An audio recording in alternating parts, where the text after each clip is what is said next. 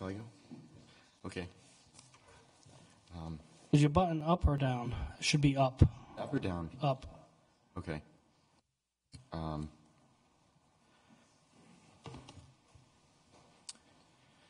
okay, good evening, um, or maybe almost good morning. Uh, Chairman Keable, uh, Vice Chair Acosta, Yes, morning. It's good morning. it's now a two day. It's now a two day hearing. Uh, Representative Aiello, um, O'Grady, um, McEntee, and Filippi. Nice to meet you. Um, you've, my name is Jeff Prostowski. You've heard now from 88 organizations, a cardiac anesthesiologist, former House reps, a Purple Heart, veterans, rabbis, experts from the NRA, RICAGV, the Attorney General's Office, firearms manufacturers, lawyers, doctors, um, a mayor, uh, a commissioner, and a chief. I've been listening from the Senate gallery. Uh, and now you'll hear from a musician. I've lived in Providence for 14 years of my 31. I would like to tell you a personal story.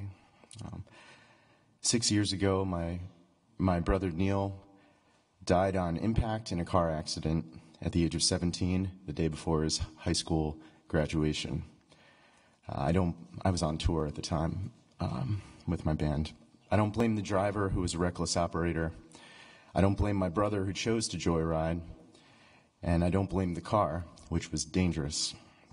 Today is not about placing blame for horrible accidents that happen to us and the people we love.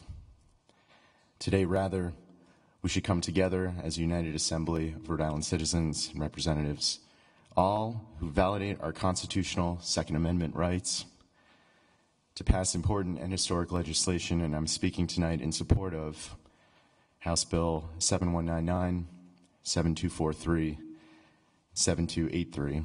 And though I support all three of those bills, as well as I learned tonight by listening, um, Bill 7575, I will use my time to argue for the magazine bill. On April 17th, 2013, senators, our senators from Rhode Island, Whitehouse, and Reed, both voted for Senator Feinstein's bill in the U.S. Senate to reinstate the federal assault weapons ban that had sunsetted nine years earlier under the Bush administration, a bill she introduced in response to Sandy Hook. That bill died due partisan climate, due to a partisan climate with a vote of 60-40. Our own representative, David Cicilline, too, has repeatedly supported reauthorizing this federal assault weapons ban in the House. Um, the bill before you, number 7199, is in essence the sunsetted provision, sun risen again, but without the teeth of the original bill that named specific assault weapons, defined and outlawed them, and was supported by our Rhode Island congressmen as their votes attest. But perhaps their support is not convincing enough. In the long view, as Darin Goens of the NRA lobby mentioned earlier tonight, uh, it took three assassination attempts on U.S. presidents to prompt Congress to adopt the con- gun control measures in the last century.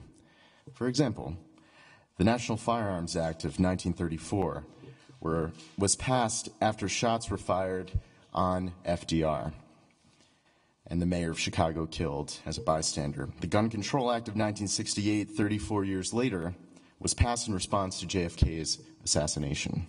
And most recently, the Brady Bill of 1993, named after wounded Press Secretary Jim Brady, was passed in response to the shots fired at President Reagan 12 years earlier in 1981. Are Sandy Hook and Emanuel Church not enough reason to act again? Must we wait for another, even more horrific incident before we act? As Representative James Langevin said, my accident happened in what should have been one of the safest places to be in a police station at the hands of trained police officers. More guns are not the answer. I thank you for your time, and I submit 24 copies of this testimony for official record. Thank you.